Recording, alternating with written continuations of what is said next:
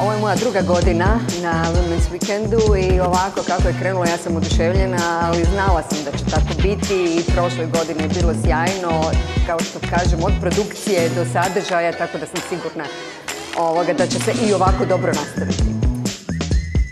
Europska komisija je bila uh, maleni partneri na prvom Women's Weekendu, na drugom Women's Weekendu. Cijeli je zapravo današnji nulti dan, uh,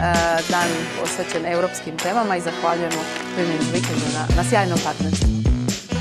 Women's Weekend u Rijeci uh, je snažno podržan, dakle od sveučilišta u Rijeci kao institucije, dakle ove godine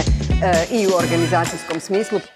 Evo ono što je posebna e, prednost kako ja vidim ove godine je ovaj sjajan prostor e,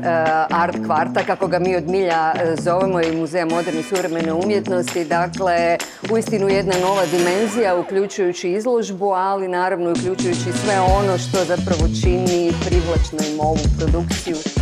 brojne inicijative Europske komisije, od direktive o ženama u upravnim odborima, direktive o transparentnosti plaća u Europskoj uniji i isto tako i direktive o ravnoteži između privatnog i poslovnog života za roditelje i pružatelje skrbi. Sve su to važne, e, važni zakonski okviri koji se onda u državama članicama, pa tako i u Hrvatskoj, primjenjuju u praksi kako bismo